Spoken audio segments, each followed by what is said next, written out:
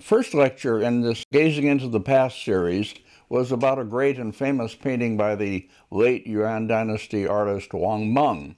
And in it, I showed besides uh, that one of his, uh, that one at great length and in great detail, I showed a few others for comparison.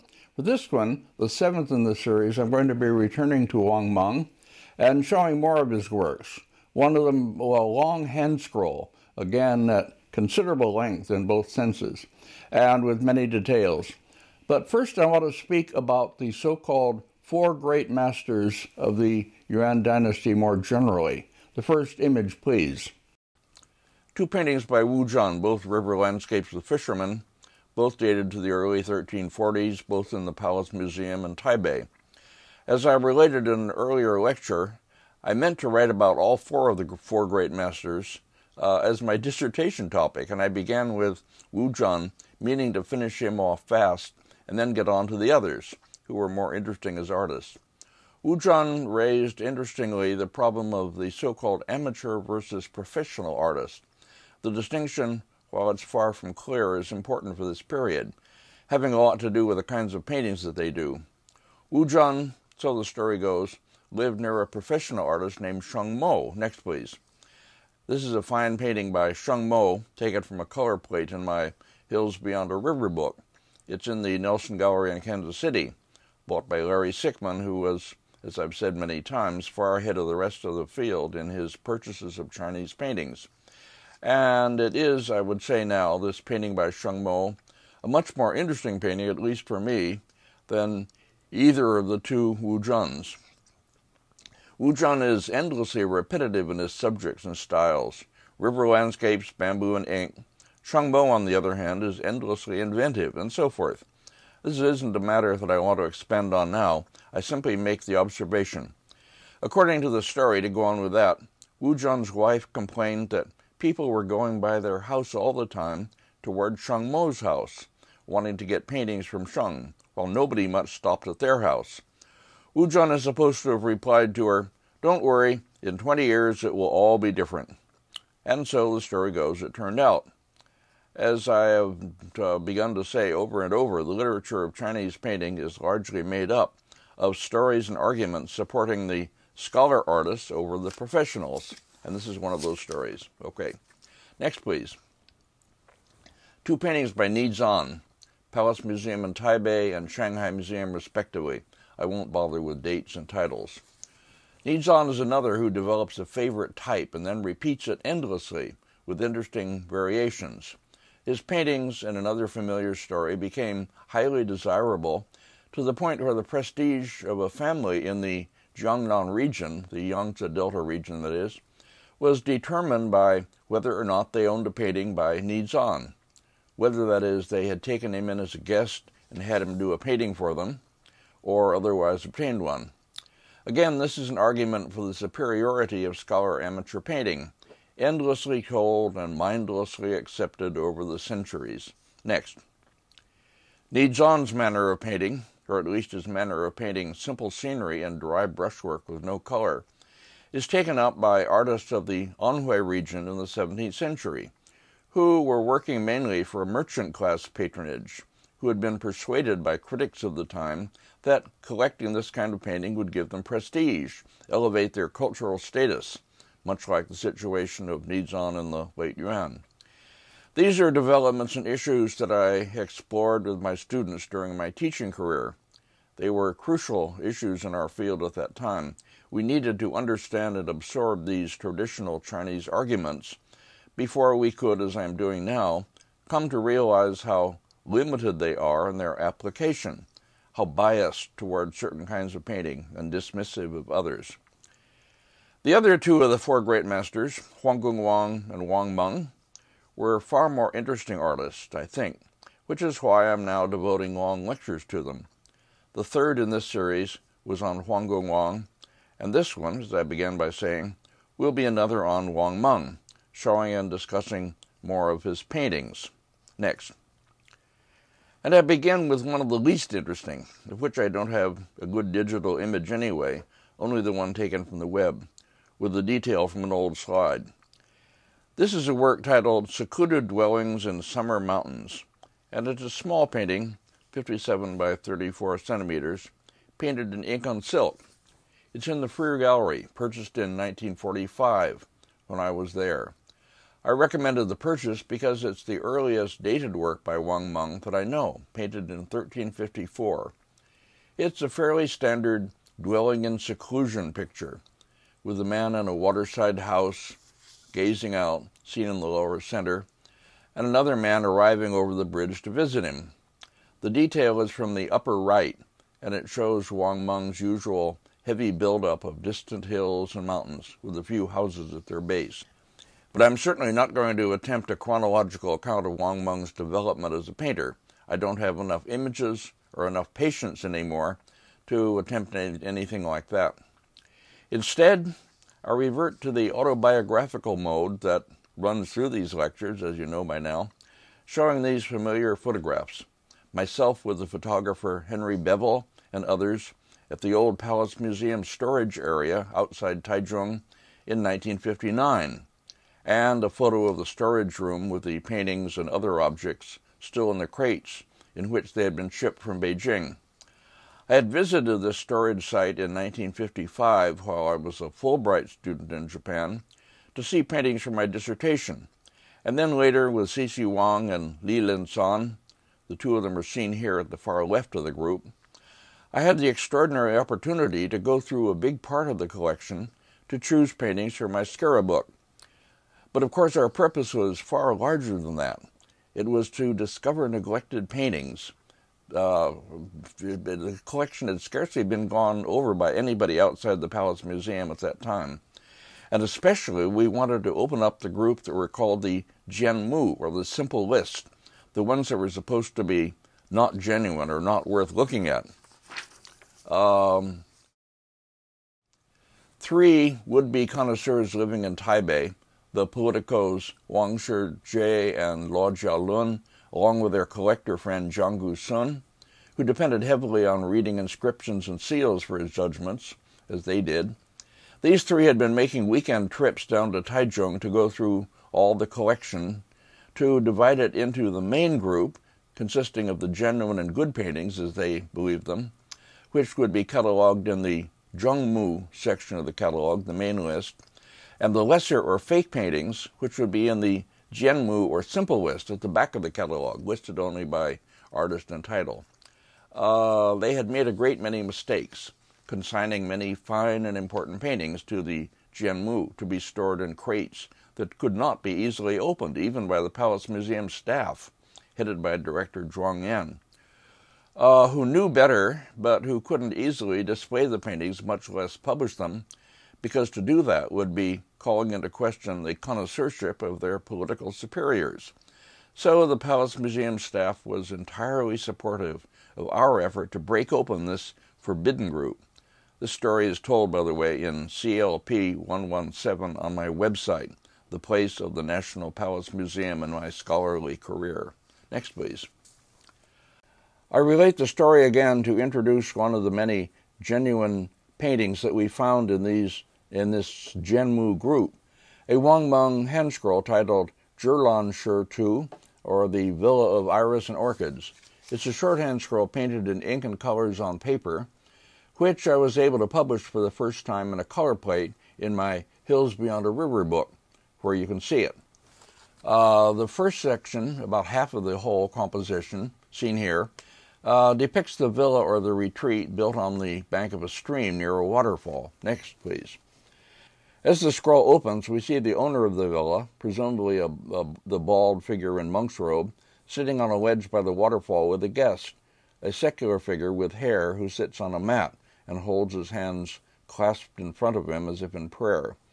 A striking feature of the painting style is the heavy application of dian or dotting, sometimes along the edges of earth forms, but much of the time seeming to vibrate apart from them giving a strong surface vibrancy or visual excitement to the whole image. Next.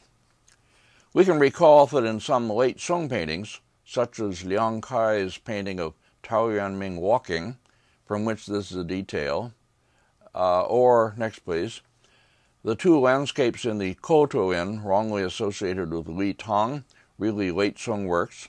In these, the dian had begun to be applied as clusters of large dots, already seeming somewhat detached from the landscape forms, serving rather to energize the whole picture with this kind of surface agitation. Next. In some works by Shi Tao, the great late 17th century individualist master whose work was the subject of the previous lecture in this series, masses of vibrating dian or dots come to dominate the picture, scarcely seeming attached to any solid forms at all, as in this detail from his hand scroll titled 10,000 Ugly Ink Dots. Next. Wang Meng, in such works as this one, makes an important and brilliantly original stylistic move toward this use of dian dotting as a stylistic feature somewhat independent of representation, purely a visual stimulus. Wang Meng, like Huang Gongwang, was an artist who could bring major new stylistic ideas into Chinese painting, as neither Wu Zhen nor Nizan really could, or at least chose to do, as they're in their quieter works. I've tried throughout these lectures to bring out, whenever I can, the distinction between artists of truly great creative powers and those who only achieve a manner of painting that's highly regarded because of critical preference or uh, critical bias. Next. Moving in closer to the main subjects in this first section, we see the monk owner and his guest at far right, with a servant approaching them carrying something that looks like a martini glass but probably isn't. The house is open fronted and a figure of the Buddha on a stand is seen inside, with another servant at far left.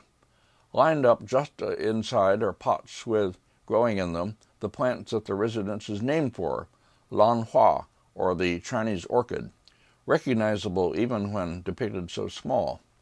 Outside, lined up on the outer edge of the flat bank, is another row of potted plants. These must be the Zhi, the iris of the title. Above and behind, more open rooms can be seen in the second story, which must be the monks' living quarters. So, in this modest picture is a detailed account of how this monk lived, how he entertained guests, and the beloved potted plants that he cultivated, and after which he named his residence. At the far left of this image is what appears to be a vertical bank of earth, covered with masses of large black dian, which here must represent the foliage of bushes or trees. Next, please. This introduces the second half of the scroll. My images may not include its entirety, but most of it is here, which presents us with what it seems, what at first seems a solid surface of busy brushwork, dominated by heavy dotting, but also revealing, as we look longer, recognizable trees with exposed trunks, branches, and green foliage. What appears to be a recession at the top with trees growing on it.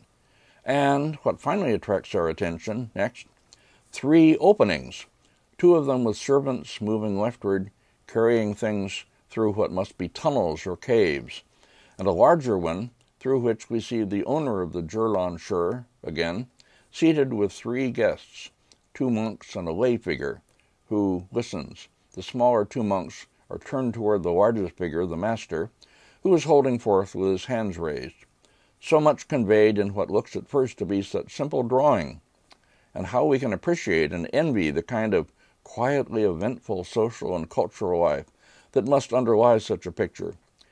It is, of course, idealized. How the monk really lived, we can't say, except perhaps by translating the inscriptions and reading whatever writings about him survive, which is a task for the text readers. Perhaps it's already been done unknown to me. What I care about here is what Wang Meng has told us so engagingly in his painting.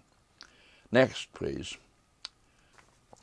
After having written the foregoing in my lecture notes, I turned to take my old Hills Beyond a River book off the shelf to read what is said about the painting there, and I found quite a lot.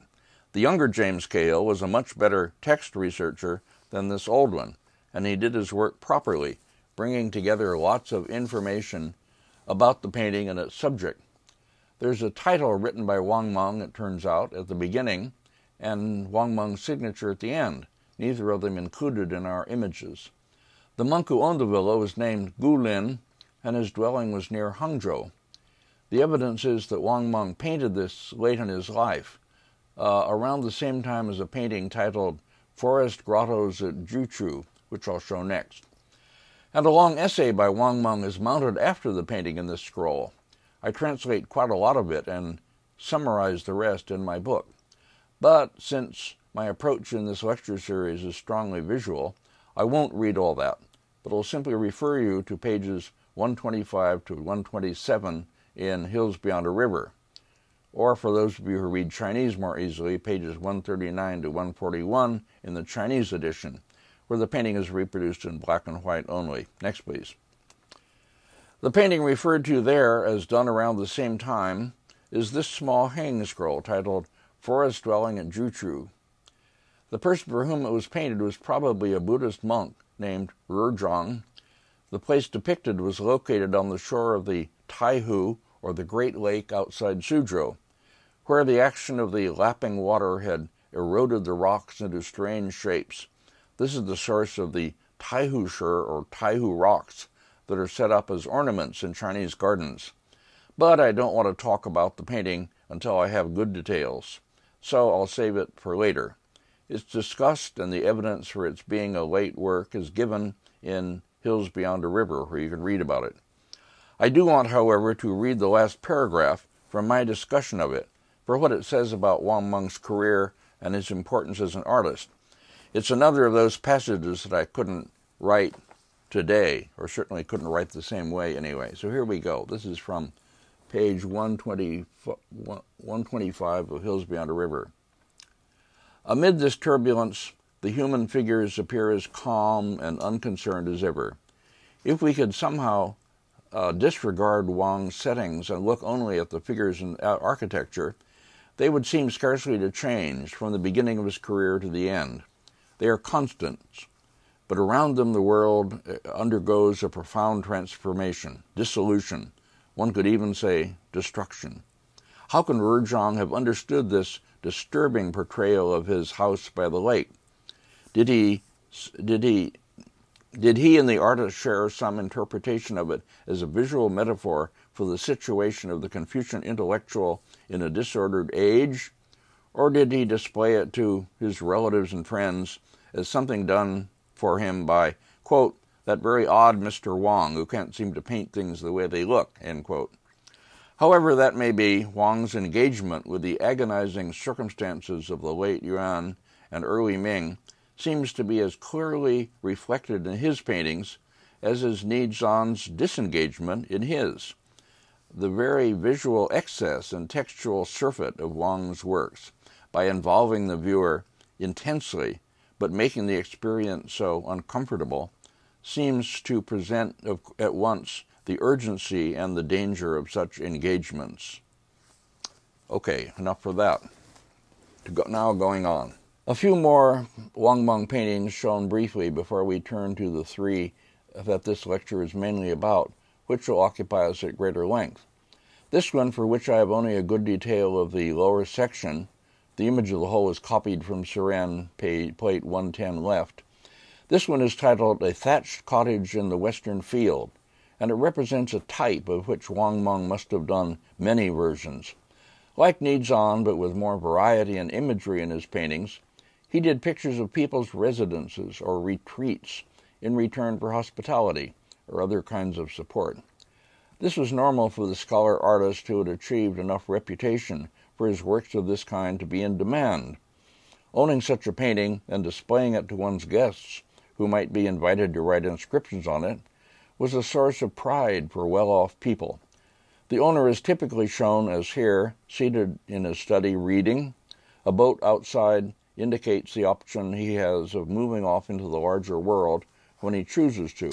Next. Two smaller paintings, both painted in ink only on paper, turned up later in the Shanghai Museum after I had compiled my index so that they are not included there. This one is signed simply by the artist and bears inscriptions, poetic quatrains, signed and with seals by two contemporaries, three people collaborating on a work to be presented to someone. Next. At the bottom of the picture, a man in a thatched tingzi beneath pines gazes at a waterfall. Above, a road leads diagonally upward to a cave with two figures in it. This simple imagery would, of course, have had some significance for the recipient of the painting. The execution of the painting must have been done quickly, with line drawing and lots of dotting. This must have been typical of Wang Meng's lesser productions. The next. Also in the Shanghai Museum, this one is inscribed by the artist as painted for Chen Weiyin, a well known person of his time, brother, if I remember right, of Chen Ruyan, whose Hao was Wei Yun. There was a time when I knew all of these Yuan literati and their works in detail. They will be familiar to some viewers who work in this field, but identifying them in detail is, isn't, is not part of our present program. On the mountainside among trees is a kind of hut woven of bamboo, perhaps, with two figures seated in it. And a man is seen below crossing a bridge. If there is a certain similarity between the compositions of these two paintings and the imagery in them, this is because Wang Meng is using familiar materials. The large trees at bottom right and the stream flowing out from a pond make up a standard opening for literati landscapes, seen endlessly in their works. Next. Deserving of more attention as an original and complex composition is Wang Meng's Chunshan Tu, or Spring Mountains picture in the Shanghai Museum, reproduced as figure 108 in Sirén and in many other books. I have no less than 12 high resolution details of this, made from the original painting many years ago, and I'll show them reading against the standard Chinese practice from top to bottom because the most interesting parts of the buildings and figures are in the lower part, and I want to save them for last. The composition to begin with, to begin with that, the composition to begin with that is made up of materials pushing diagonally upward and apart, the hilltops and below the pine trees. This leftward rightward push ends at the bottom with two groups of houses and figures, which, as we'll see, are also separated into left and right a simple scheme, but unusual, and carried out with lots of variety and originality. A long inscription by the artist is in the upper left. Unfortunately, I don't have anything in my notes or in my index about what it says. It's presumably a poem with some references to the places depicted and the person for whom Wang painted the picture. Next. A close up of the hillside reveals how Wang Meng has here used richly varied applications of Dian dotting from lightest to dark, overlapping in disorderly masses, unpatterned, for an especially effective approximation of visual phenomena, how the eye would see distant vegetation on a hillside. Once more, we might think ahead to the ways in which the Impressionist painters of Europe were to make their pictures look naturalistic by avoiding the neatly sharp edged look of traditional painting suggesting the blurring of distance. Something like that is being done by Wang Meng here. Next. A further out view that reveals the bifurcating character of the composition as the ridges push upward to the left and right, and the pine trees below repeat this movement in their growth. At the middle right, we can see past the steep ridge into the further distance, where a house with a figure in it appears on a distant shore. Next. Closer up, this is seen to be an open house with a man, or a figure anyway, seated in it, set among trees with straight trunks and pointed tops, some kind of pines perhaps. This building may be part of the living complex that's shown below, possibly a house for a servant. Next. Moving still closer in, we see that the figure is kneeling in front of some kind of apparatus. Is it a woman engaged in weaving on a frame? Someone else more familiar with Chinese material culture can probably identify it. I cannot. The close up detail reveals also that Wang Meng has suggested a further building with a vertical line pattern seen between trees above, representing some kind of lattice on its exterior. It's only when we move in close in this way, with images of the kind that these lectures can offer, that we come to realize the riches that Wang Meng has provided us. Reproductions in books reveal little beyond the whole composition and the placement of a few buildings and figures. Next, please. The large pine trees that occupy the center of the composition, with their bifurcated push upward, when seen closer up in this way, prove to form a dynamic pattern, uh, in their trunks and branches and upward pointing bunches of needles. We're seeing the painting more or less as we might look at it faced with the original, moving in and out, upward or downward, bending in to look more closely at some visually absorbing area. Next. And here, with an image of the whole lower section, we come to the narrative center, the principal dwelling with buildings and figures.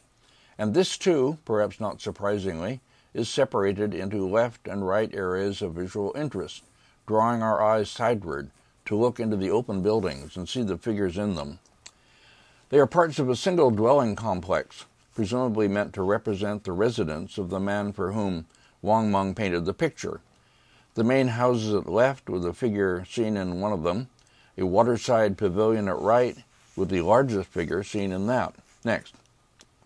The cluster of houses, one shown above another, moving back, all with thatched roofs and windows protected with vertical wood members on the outside, presumably with paper pasted inside that let in the light while protecting the privacy of those in the house. Panes of glass are, of course, far in the future.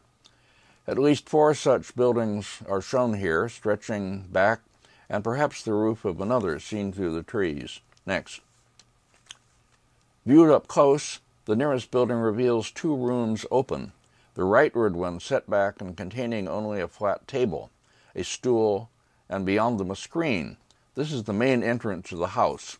The left room is a man's study, built out over the water with a low railing around it. The man is seen sitting at his desk with an open book in front of him and what are probably brushes in his hands. Two more brushes and an inkstone are also on the desk before him. This cannot be the main residence, whom we will see in the waterside pavilion, and who will have a heavy mustache. This may be one of his sons. The identity of the people would have been obvious to the original recipient of the painting and to his friends. Next, please. And here finally we arrive at the true main focal area of the painting, the thatched pavilion overlooking the water, viewed beyond rocks and a large pine tree. A broad path with horizontal markings that appear to be planks laid on it leads up to the pavilion from the lower right, where we should perhaps imagine a mooring place for the boat of a visitor or a boat that will carry the man away when he wants to travel. Next. In this, our final image for this painting, we see at last the figure of the man around whom the whole composition is organized, the largest figure in the painting, the most individualized, with a heavy mustache and perhaps a beard.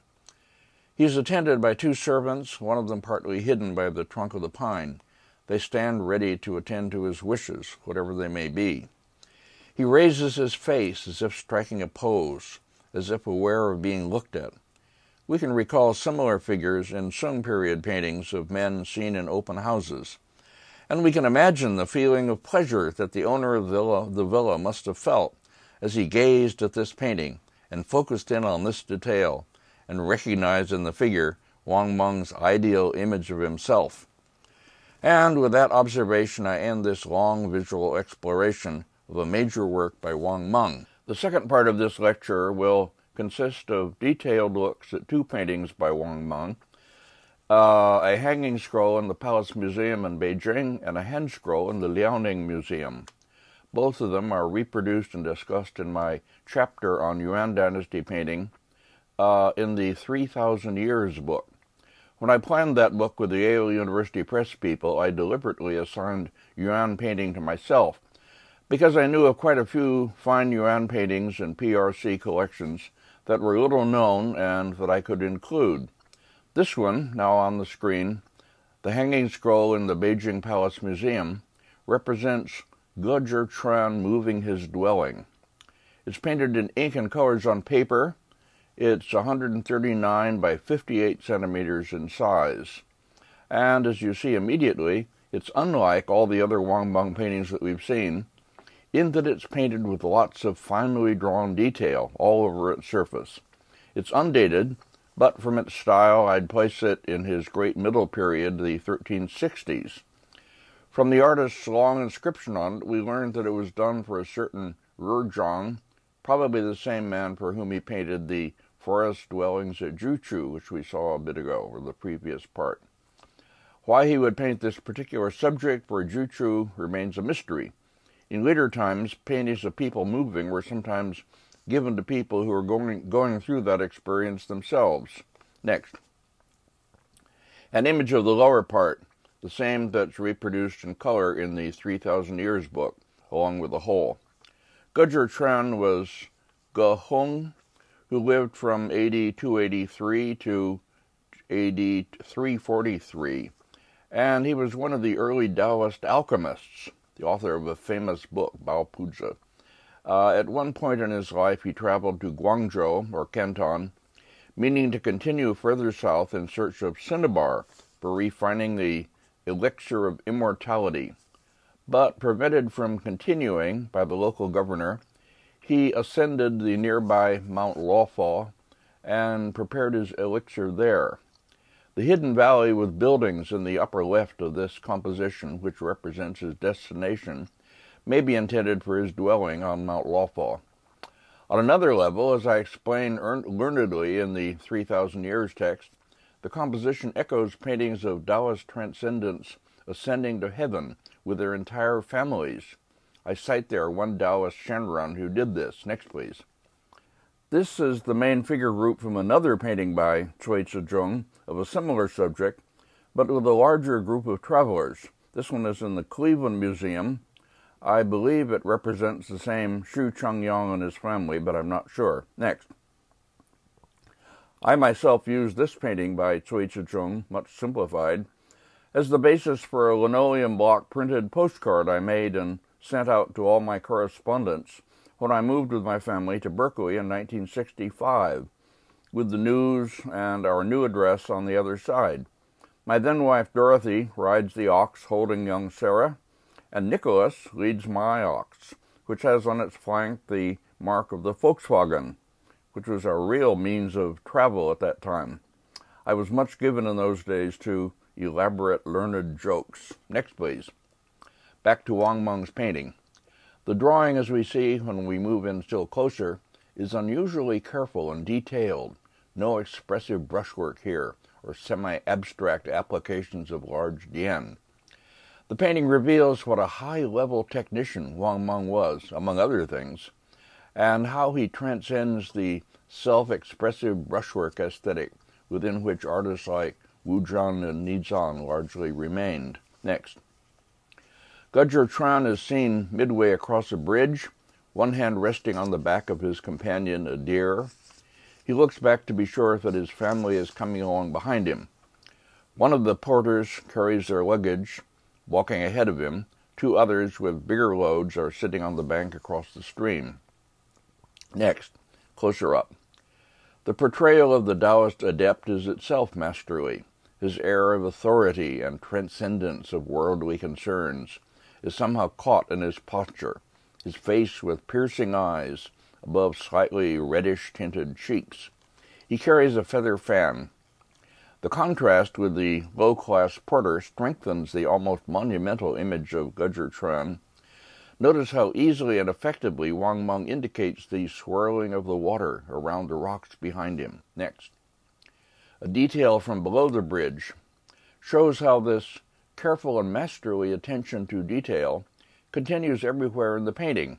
The swift flow of the water between the supports of the bridge, which are themselves depicted so that we understand completely the construction of that bridge, the eddying of the water around strongly shaped rocks. Next. Behind and below Ge Zhichuan are his family and other servants. One servant approaches the bridge, another, older, leads the ox carrying an old woman, perhaps his principal wife, who holds a young child, presumably a son. Two younger women, perhaps concubines, follow behind. This image is conventional and will be used more or less similarly, more or less the same, in similar paintings in later centuries. Notice the meticulous drawing of the leaves on the trees, the smaller one just behind and above the figures. And uh, next, please. The larger ones further back, filling the whole lower left corner of the composition, a strongly shaped nearer tree with knots from broken off branches and rich foliage. Another trunk wound with vines behind and to the left. others behind to the right. We need to recognize, as we haven't before, how completely and effectively Wang Meng, who was a scholar amateur master, continues the great Southern Sung Academy tradition of painstakingly representational painting, that is, when he chooses to do so. Next. As we continue to follow the narrative route that our family group will take into the landscape, we come to the further shore where two servants are sit resting, a younger man and an older one, both with heavy loads. Prominent in these loads are the necessities for any scholarly man wine gourds, books, and scrolls. The road continues around the vertical cliff behind them. Next. We move now into the upper part of the painting, beginning with this general view and an image of the right part. Here again we are impressed with how much Wang Meng has learned and absorbed from earlier painting, including, we have to assume, the spatially complex landscape paintings of the 10th and 11th centuries.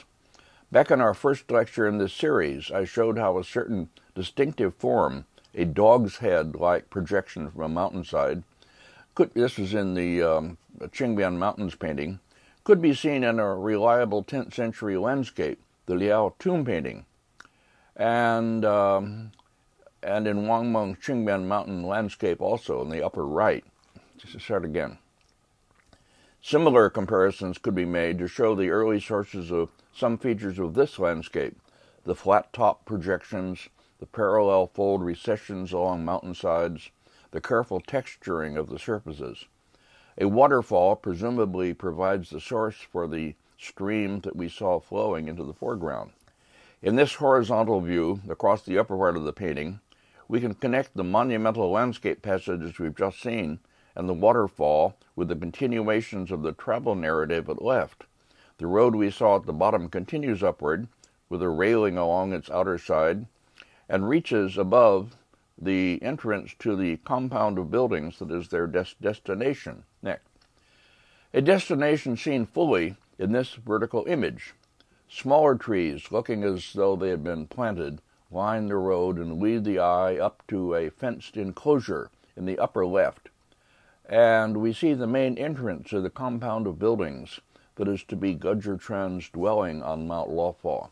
Next. Um, and here finally is a close-up view of that destination. A fence made of vertical poles is open, and a boy servant stands ready to welcome them. In a gateway building behind is another servant. To the left is a thatched viewing pavilion, or tingzi, where Ge Zhichuan and his friends will sit and gaze out over the mountain scenery now below them.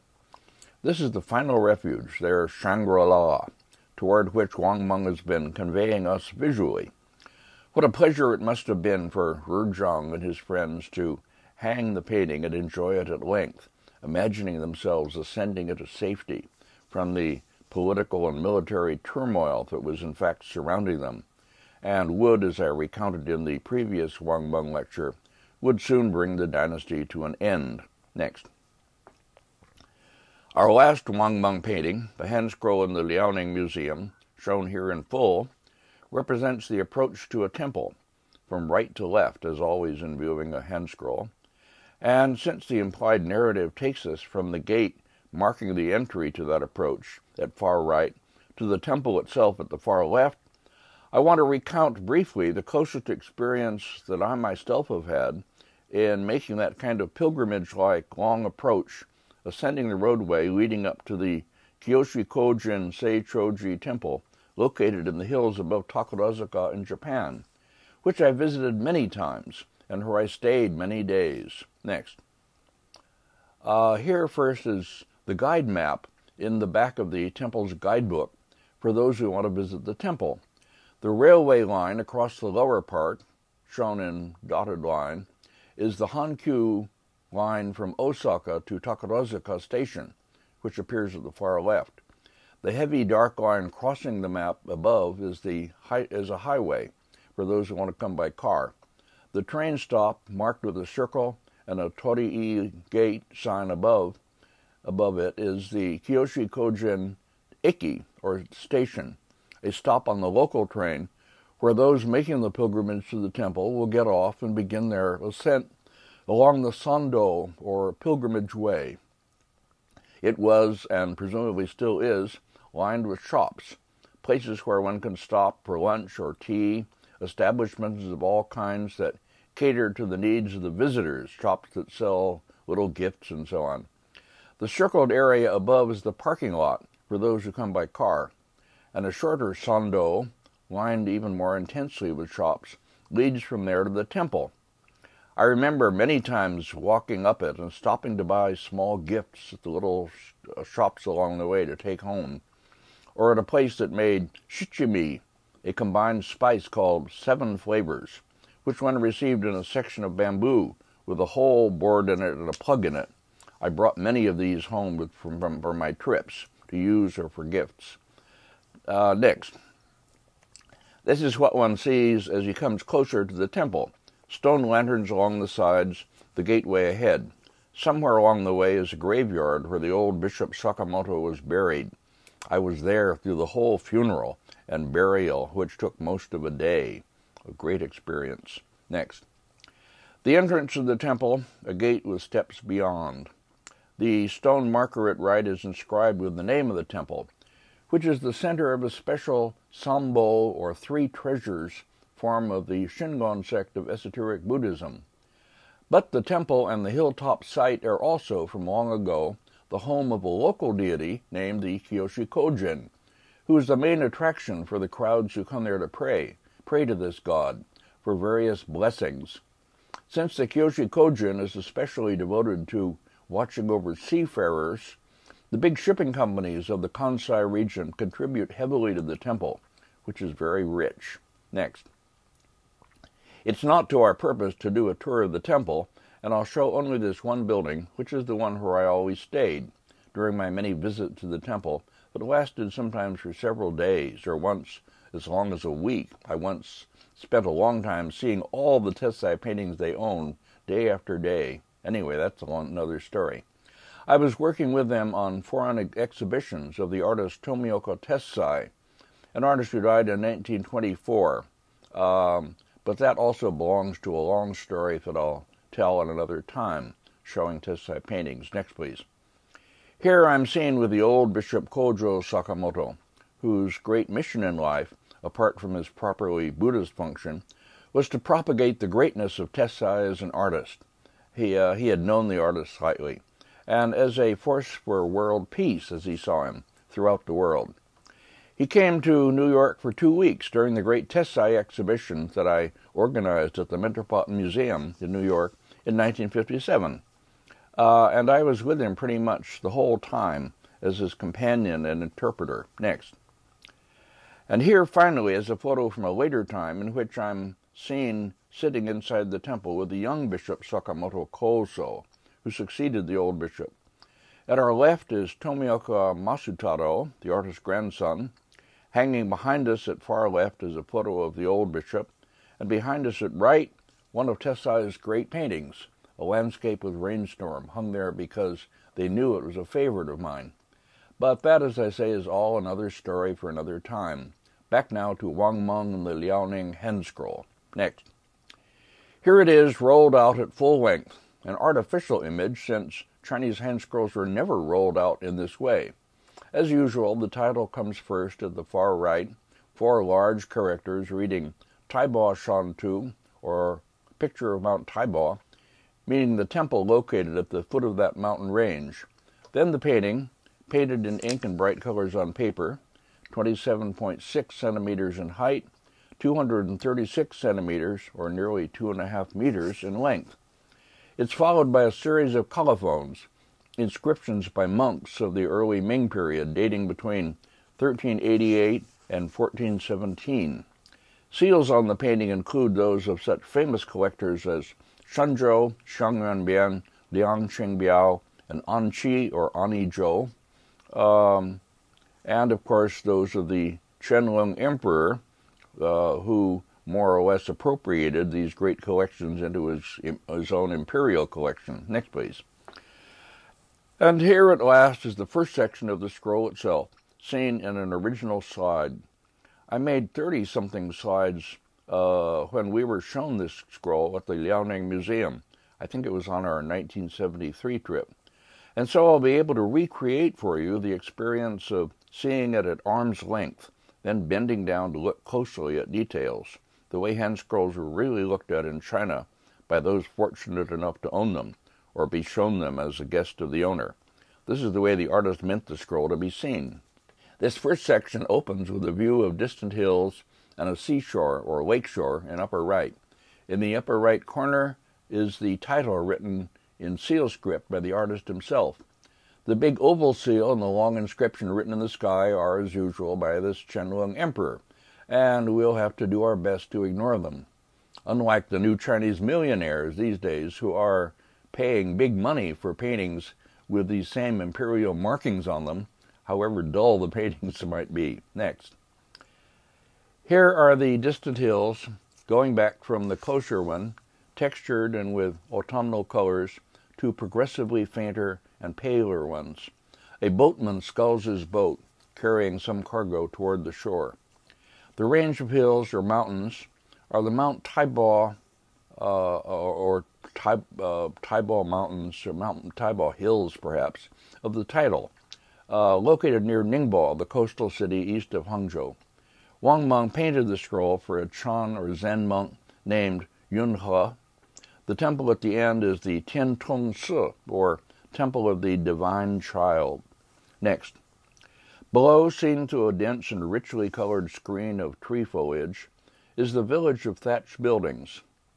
Located just outside the gateway that is the proper entrance to the pilgrimage way, it was probably made up mainly of shops catering to the needs and wants of the pilgrims, like those that line the Sando to the Kiyoshi Kojin that I talked about uh, a bit ago. Next.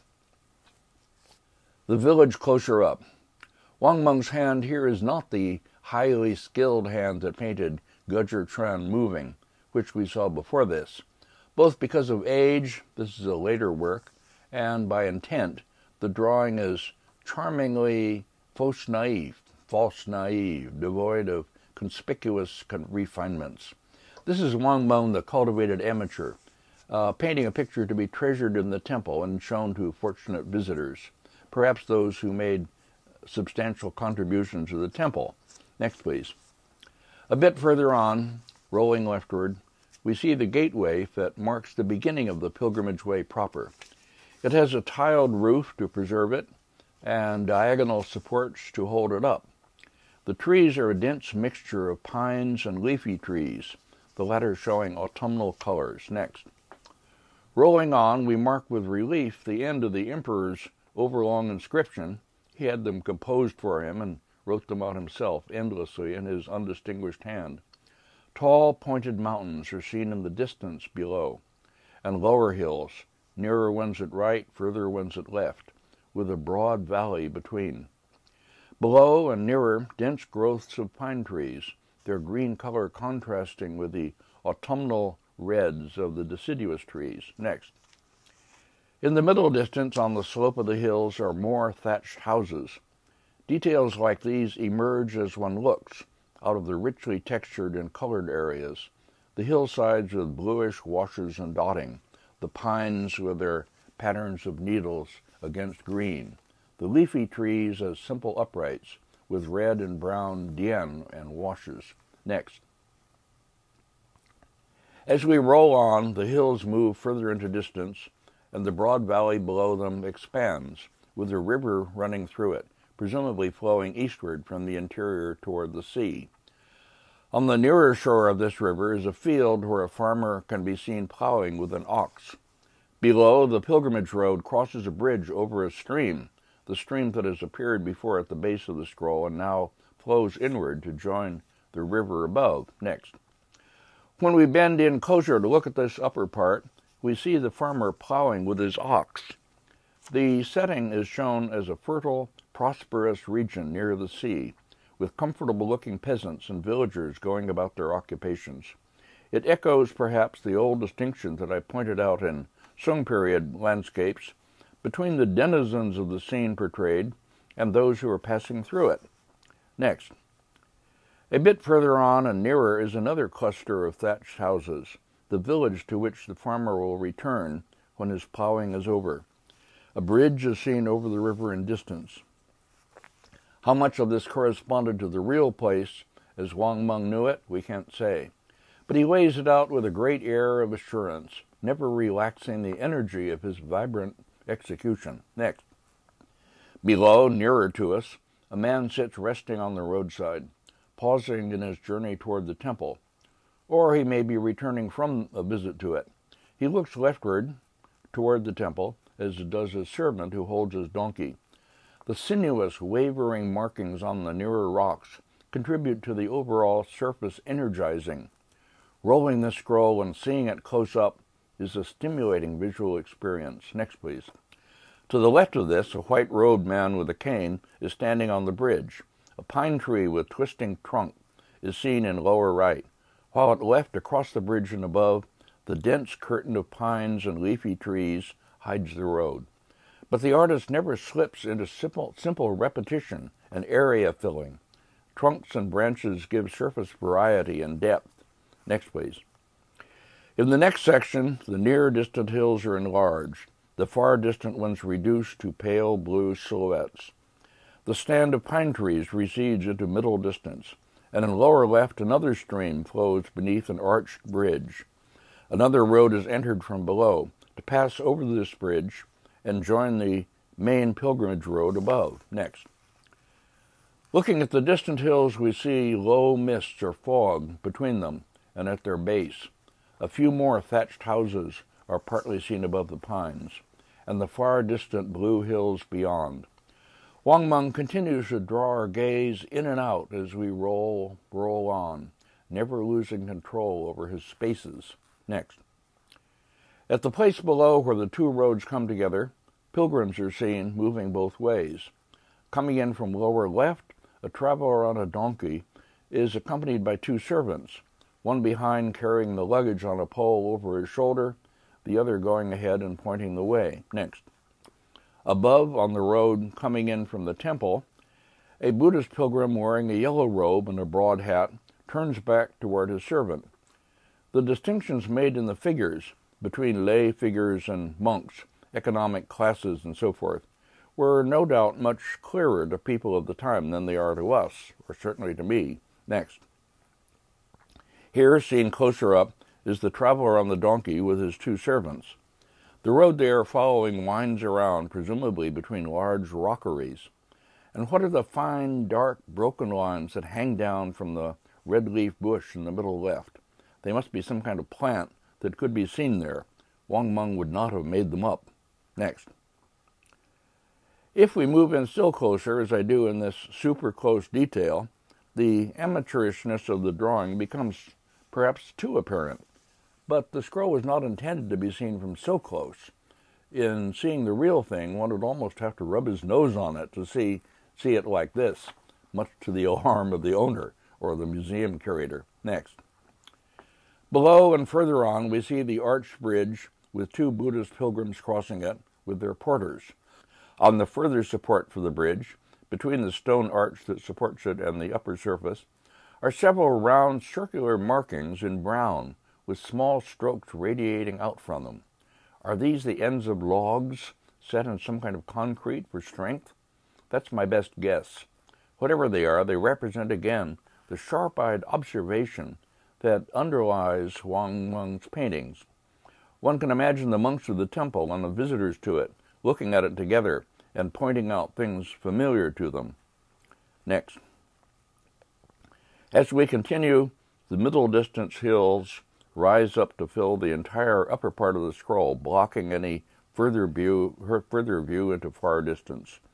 The dense plantings of pine trees continues below, with a few red-colored trees among them, and figures seen between their trunks. Next. The sudden rise of the hills features a projection similar to the dog's head form I spoke about before.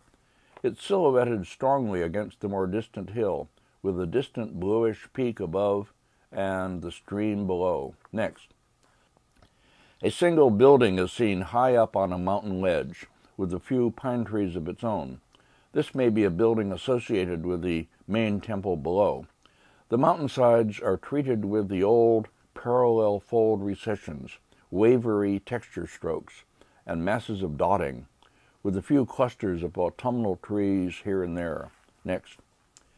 In the spaces between pine trunks below, we see a group of horsemen approaching the temple. These are not Buddhist pilgrims, but men of some rank, two of them with red coats and officials' hats, others with blue and white coats. This is some official visit of high ranking men, accompanied by servants walking before and behind them. Next. They are about to arrive, and we are about to arrive at last at the temple, which occupies the end of the scroll. The main group makes up an impressive diagonally receding architectural complex, with its approach seen between the end of the row of pine trees, which now divides into two rows that rise to flank the buildings. Next. Two monks are seen at the bottom, then a square pond uh, in front of the main temple buildings, and then those buildings, the broad two story main building, Honkan in Japanese, with a courtyard behind it and another two story hall behind, very much like temple complexes we can still see in Japan, the Horyuji, for instance. Next. The pond is in two rectangular parts and is lined with rocks of different shapes and colors. Without really knowing, specialists in temple architecture and design can tell us more, I would assume that it's used for some kind of ritual cleansing, washing, or simply symbolizes that, that idea. Bodies of water are associated with temples all over the world, and I recall reading a learned article about them, or book about them, about their significance long ago, but I can't remember it now. Next.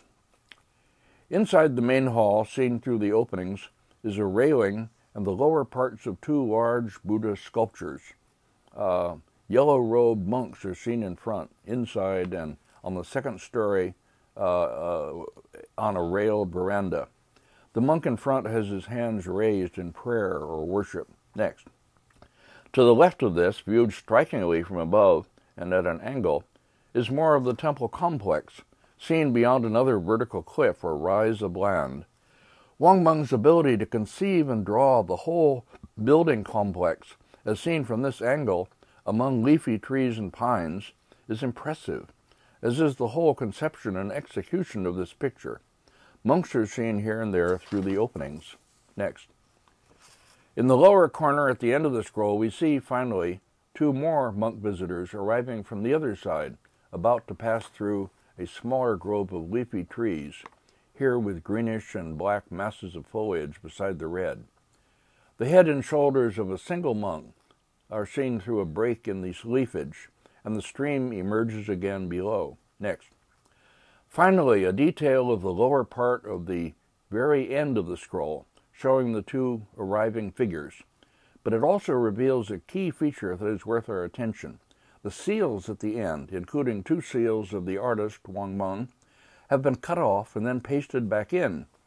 The speculation about this is that when Wang Meng fell into political troubles at the beginning of the Ming, he was accused of involvement in a seditious campaign to overthrow the new emperor, and he was imprisoned and died in prison. At that time, his seals may have been cut off the painting to guard against the danger of the temples being associated with him, and then, after some time had passed, the seals were pasted back on. No painting by Wang Meng dated after the fall of the Yuan survives, perhaps for that reason. So, a bit of politics and personal tragedy is injected at the end of this lecture. How does it affect our reading of the painting? Not at all, some would say. Max Loehr always argued that works of art are timeless personal creations, independent of history and special surrounding circumstances. I myself, by contrast, used to make a case for Wang Meng's involvement in political issues of his time being somehow reflected in the, how to put it, strongly engaged character of his paintings, just as Ni Zan's Eremitism his avoidance of involvement is reflected in his paintings, which can be read as emblems of disengagement. I'm certainly not going to elaborate on that argument here and now, but I'll leave it to resonate in your heads as a suitable ending for this very long lecture as I myself disengage and go off to rest.